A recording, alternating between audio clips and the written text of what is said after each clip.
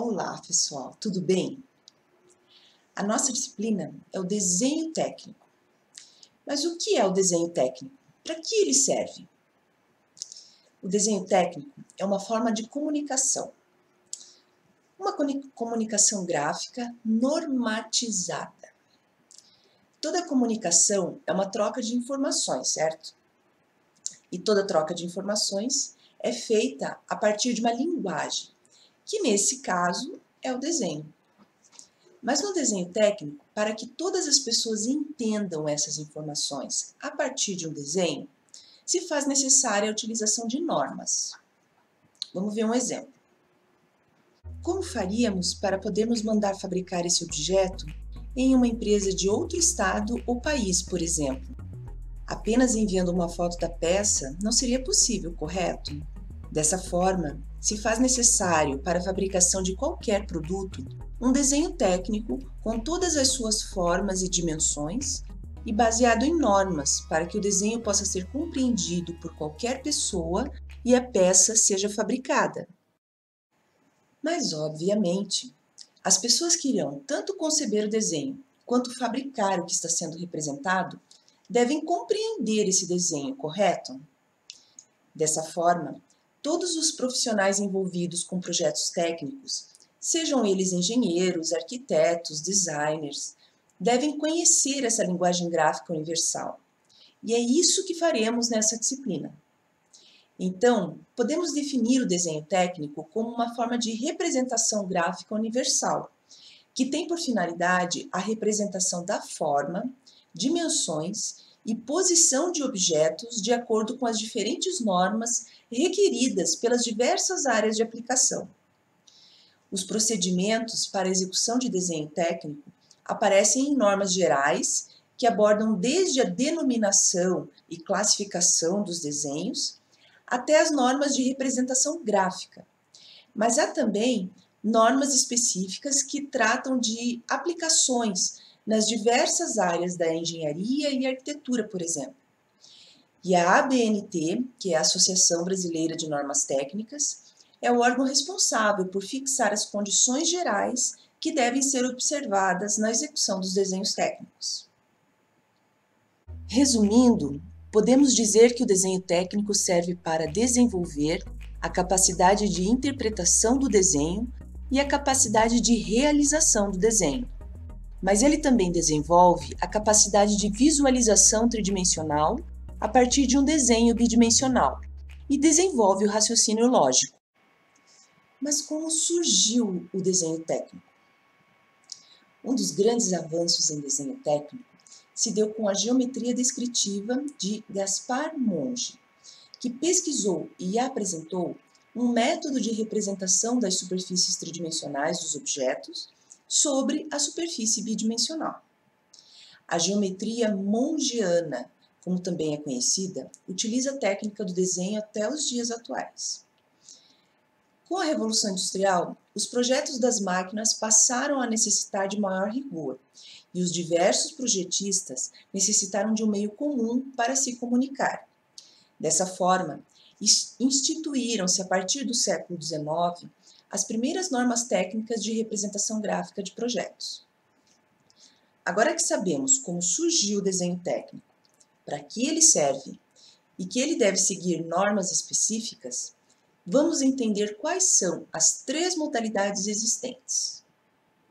A primeira modalidade se refere ao desenho à mão livre, que é feito sem a utilização de nenhum tipo de instrumento, apenas usando lápis e papel. A segunda modalidade de desenho são os realizados com o auxílio de instrumentos específicos, como lapiseira, régua graduada, par de esquadros e o compasso. Nessa modalidade, para se produzir desenhos precisos, é necessária a utilização de mesas apropriadas, como as pranchetas de desenho, as quais são usadas com a régua paralela, que é um instrumento adaptável à prancheta, funcionando através de um sistema de roldanas. O desenho utilizando instrumentos de desenho exige cuidado no traçado das linhas, assim como certa experiência, o que implica no resultado e na precisão do desenho. A terceira modalidade do desenho técnico é a que utiliza o desenho auxiliado por computador, conhecido como CAD, que são softwares gráficos voltados ao desenvolvimento de projetos 2D e 3D. Essa será a modalidade pela qual vamos aprender desenho técnico nessa disciplina. O intuito da disciplina é utilizar o software CAD como uma ferramenta ao aprendizado dos conteúdos e aplicações das normas do desenho técnico, e não o treinamento do software. Cada uma dessas modalidades tem a sua finalidade específica e estão relacionadas aos graus de elaboração dos desenhos. Vamos ver um pouco mais sobre esses graus de elaboração. O desenho à mão livre se refere aos graus de elaboração de projeto, denominados de esboço e croquis.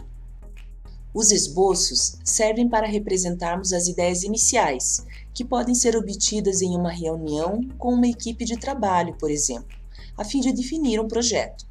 Eles são realizados com lápis ou lapiseira, ou mesmo com canetas coloridas, à mão livre, sem a utilização de instrumentos de desenho.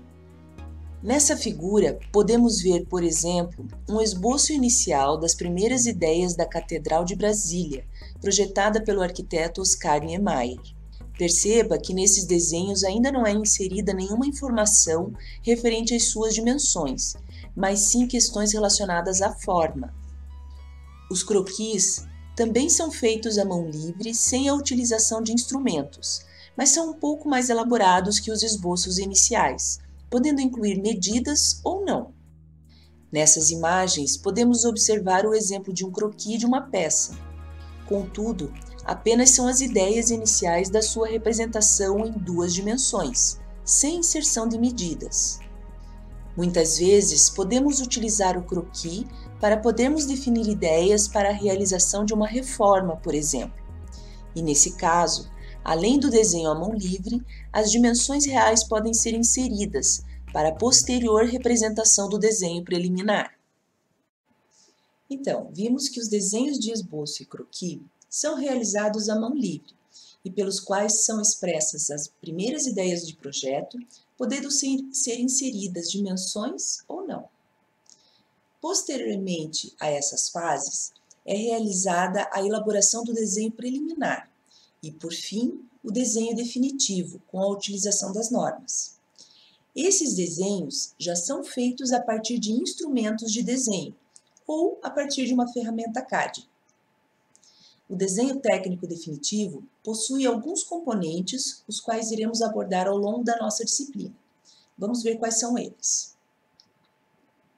Todo projeto de desenho técnico é realizado em uma folha de papel de tamanho normalizado, que contém os seguintes elementos básicos principais. Esses elementos serão apresentados ao longo das nossas aulas durante essa disciplina. O primeiro elemento se trata das vistas ortográficas, que é a representação gráfica bidimensional do produto. O segundo elemento principal são as cotas, que é a representação das medidas reais do produto. As cotas servem para descrever de maneira clara e concisa o objeto representado. O terceiro elemento é a perspectiva, a qual é a representação tridimensional do produto e que possui o objetivo de facilitar a interpretação do objeto representado. O quarto elemento principal de todo o projeto de desenho técnico é a legenda, que deve ser representada sempre na parte inferior direita do papel e serve para a identificação dos elementos do projeto, tais como o nome do projetista, o título do objeto representado, a escala do desenho, entre outras informações. Além dos elementos apresentados, se faz necessário em todo o projeto de desenho técnico a representação da margem do papel, que consiste na limitação da área de desenho. Além disso, a margem esquerda, que é maior, é utilizada para perfuração e encadernação do projeto, caso seja necessário. Todos esses componentes são apresentados nos projetos de desenho técnico de acordo com normas técnicas que no Brasil são publicadas pela ABNT e estão em consonância com as normas internacionais aprovadas pela ISO, que é a Associação Internacional de Normatização. Iremos conhecer cada uma dessas normas nas, nas próximas aulas, que são aplicadas para o desenvolvimento de projetos nas áreas de engenharia, arquitetura, design, entre outras. Agora, como será que o desenho técnico é aplicado na área do seu curso? Vamos ver.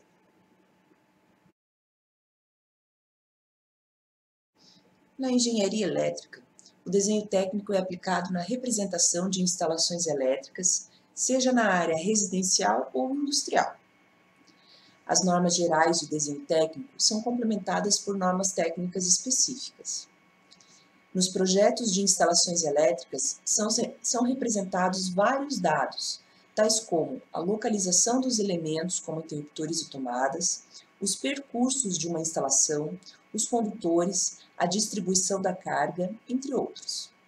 A representação desses elementos é realizada a partir de uma simbologia convencional própria, sobre a planta baixa da residência ou do edifício em questão. Essa forma de representação é denominada esquema unifilar, no qual os dispositivos de comando, proteção, fontes de consumo, condutores são representados. Além disso, o desenho técnico é uma disciplina básica, importante para que o engenheiro elétrico saiba interpretar projetos, dialogar, discutir e tomar decisões juntamente com os profissionais das áreas adjacentes. Vejamos um exemplo dessa simbologia aplicada ao desenho técnico. Nessas figuras, temos um exemplo de alguns dos elementos básicos utilizados em projetos de desenho técnico de instalações elétricas, assim como o diagrama unifilar, que deve sempre ser representado junto à planta baixa. Além disso, é necessária a representação de um esquema chamado multifilar, no qual se mostram detalhes e ligações de funcionamento, representando todos os seus condutores, assim como símbolos explicativos do funcionamento. Os projetos de desenho técnico de instalações elétricas são bastante detalhados, pois devem representar a localização dos pontos de consumo de energia elétrica, seus comandos e indicações dos circuitos a que estão ligados. A localização dos quadros e centros de distribuição. O trajeto dos condutores e sua projeção mecânica, inclusive dimensões dos dutos e caixas. Um diagrama unifilar discriminando os circuitos, seção dos condutores, dispositivos de manobra e proteção as características do material a empregar suficientes para indicar adequabilidade de seu emprego, tanto nos casos comuns como em condições especiais. Bom, pessoal, com isso nós encerramos a aula de hoje. Nós vimos o conceito de desenho técnico, sua origem e finalidade. Também vimos que o desenho técnico classifica-se em modalidades quanto ao tipo de ferramenta para sua concepção, podendo ser a mão livre, com a utilização de instrumentos de desenho ou a partir de softwares gráficos 2D e 3D. Vimos ainda a classificação do desenho técnico quanto à sua finalidade, partindo de esboços e croquis, passando pelo desenho preliminar até chegar ao desenho definitivo, que utiliza normas técnicas específicas para cada um de seus componentes. Finalmente, vimos a aplicação do desenho técnico no seu curso, e percebemos que, além da aplicação das normas gerais, se faz necessário o conhecimento e aplicação de normas específicas para a sua área de atuação profissional, que serão apresentadas ao longo do seu curso de graduação. As referências dessa aula serão fixadas no final desse vídeo. Até a próxima!